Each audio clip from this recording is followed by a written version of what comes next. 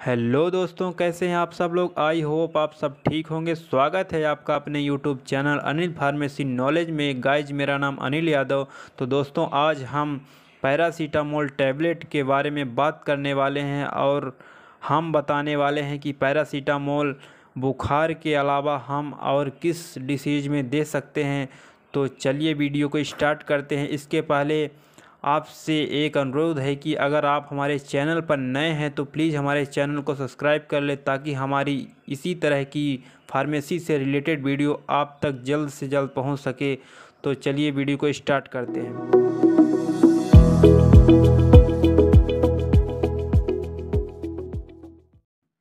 तो दोस्तों, paracetamol tablet 500 सौ का यूज़ हम जोड़ों के दर्द में, मांसपेशियों के दर्द में, कमर में दर्द हो तब ले सकते हैं और सामान्यतः हम अधिकतर हम बुखार के में ले सकते हैं या फिर सर्दियों में जब हमारे सर्दी जुकाम आ जाए तब हम पैरासीटामोल टैबलेट को ले सकते हैं।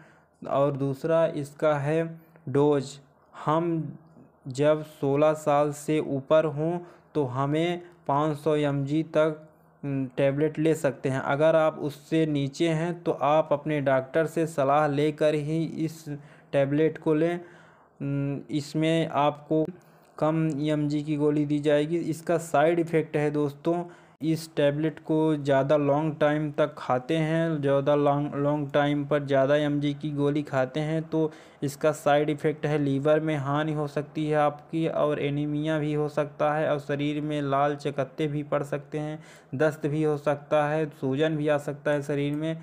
तो दोस्तों, ये रहा आपकी वीडियो में डोज, यूजेज और साइड इफ़ेक्ट। तो दोस्तों, कैसी लगी वीडियो? अगर अच्छी लगी हो तो लाइक करें और कमेंट करें।